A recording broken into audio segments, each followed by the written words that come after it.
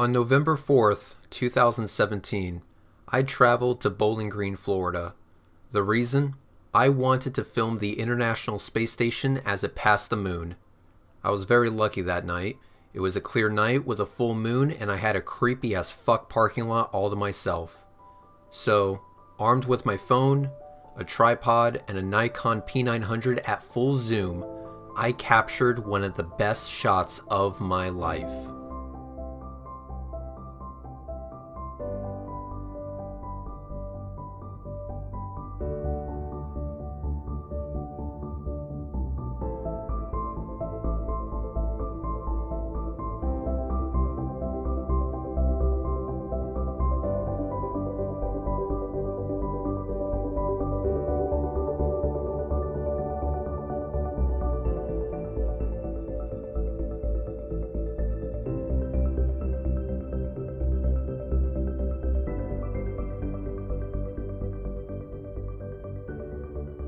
After capturing that video, I uploaded it to YouTube and it got a lot of positive feedback. In fact, I even encouraged some people to try it for themselves. That footage got people interested in space, and I'm not gonna lie, that is a great feeling. However, it also got a lot of comments from conspiratards who don't believe that the ISS exists, at least in the way that NASA claims. I've gotten everything from it's just a hologram to it's a balloon. Somehow. Well, if you want to believe that NASA has epic holographic technology that would make Tupac roll over in his grave, then be my guest. And if you think it's a balloon, then please get the fuck off my channel because you're too dumb to talk to. I mean, seriously, what the fuck? Oh, and by the way, did you know that you can do this observation yourself? Even basic bitch zoom cameras from Walmart will be enough to capture the ISS. So do it yourself if you don't believe me. However, of the assertions that have been made in my comment section, there is one that we can debunk for the conspiratards, and we can put yet another point of verification that the ISS is what NASA says it is. That assertion is that the ISS is not in space, and therefore not a space station.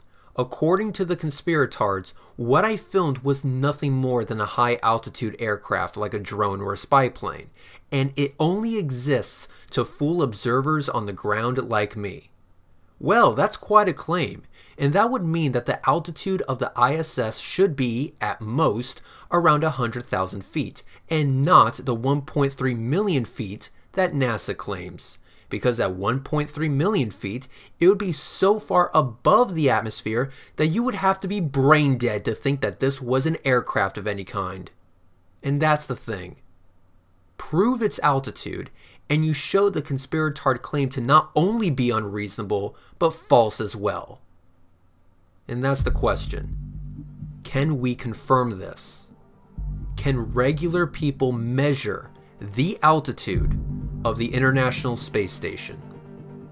Well, let's find out.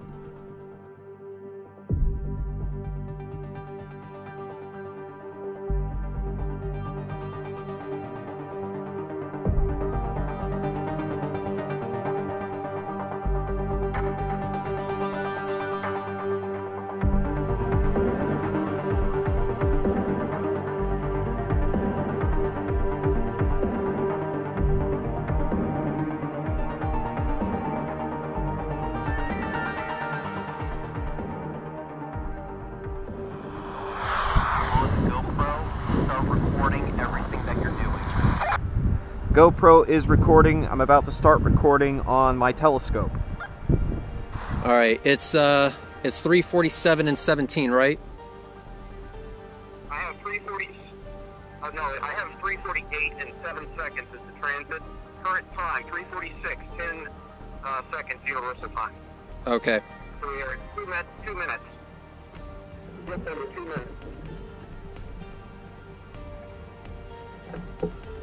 All right, understood. It is now 347 and 2 seconds, so we're about 1 minute out. All right, at this point, all cameras get trained on that moon.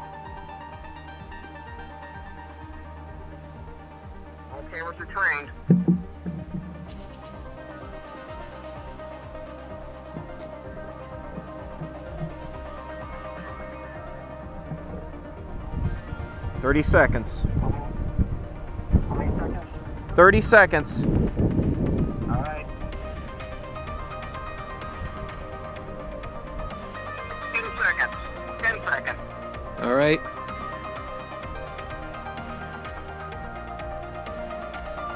Transit. Yes, yes, transit. Boom! Saw it. Stopping telescope. Telescope stopped.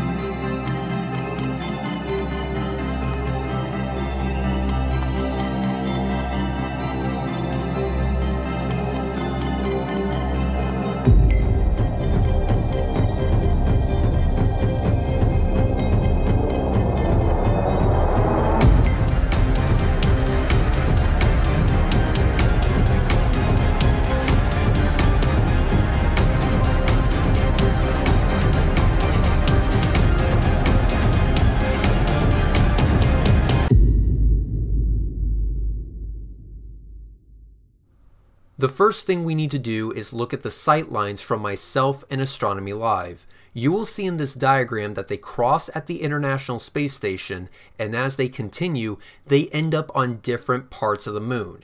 This is called parallax. It's the exact same thing when you look at your finger through one eye, and then by switching to the other eye, your finger appears to move relative to the background. This is useful because it allows us to do a few measurements. So the first thing we need to do is find angle A on our diagram. And since angle A equals angle B, we can knock out two birds with one stone. Now the angular size of the moon is known. A simple search on Google will show that it's about 0.52 degrees wide as seen from Earth. If we overlay our two tracks together, we can see that our two tracks span a certain amount of the moon. In counting the pixel diameter of the moon from Astronomy Live's footage, we see the moon is about 962 pixels wide. The span of our two tracks from center to center is about 224 pixels wide. If we take 962 and divide it by 224, we get a ratio of 4.29 to 1. So, if we take the angular size of the moon as 0.52 degrees and divide it by the value we just found, 4.29, that means angle A in our diagram comes out to 0.1212 degrees. And since angle A equals angle B, that means B is also equal to 0.1212 degrees. Now that we have angle B, we now need to find our baseline. Our baseline is the distance between myself and Astronomy Live during our observation. And according to Google Earth and the fucking ruler tool, we were about 1.11 kilometers apart. Yeah, that was easy. Now we have everything we need to do some basic trigonometry and figure out how far away we were from the International Space Station during the observation. To do this, let's cut our triangle in half along with its values, making it a right triangle. And what we're looking for is length x, because length x is the distance between us and the International Space Station during the observation. So let's go ahead and solve for x. 0.555 kilometers divided by the tangent of 0.0606 degrees gives us a value for x of 524.73 kilometers, or 326.05 miles. This means that during our observation, we were seeing the ISS from 326 miles away. Good shit, but we're not done here because now we can find the altitude of the ISS from the ground. Because you see, Astronomy Live was kind enough to stop his telescope from moving only a second after the transit. This gave me an opportunity to get this measurement from the side of his LX200. At the time of the transit, the LX200 was at 53 degrees. And yep, just like that, we have yet another right triangle that we can solve. Value x this time will be the distance between the International Space Station and the ground. To find x, we solve this equation. 524.73 kilometers times the sine of 53 degrees. And when we do, we get an altitude of 419.06 kilometers or 260.39 miles. And yes, that is even without taking into account the curvature of the Earth. That's right, conspiratards. The thing you claim is a plane is traveling at an altitude that is impossible for a plane to reach. Keep in mind that 260 miles is over 1.37 million feet, and a quick search on Wikipedia will tell you that even fucking rocket planes like the X-15 and Spaceship One from Virgin Galactic, they can only manage 350,000 feet of unsustained flight. Nowhere close to the 1.3 million feet of sustained flight of the International Space Station. At this point, Given the evidence and the observations that I have made, it's clear to me that this so called plane is not a fucking plane. I'm confident in saying that the International Space Station is way above our atmosphere and therefore in space. Many thanks to Astronomy Live and Vincent Jones for making this observation possible. Thank you guys so much. You guys are fucking amazing. Their channels will be linked down below. Please consider subscribing. Again, my name is Red. This has been his rhetoric, and as always, have a good night, and as Astronomy Live would say, clear skies, folks.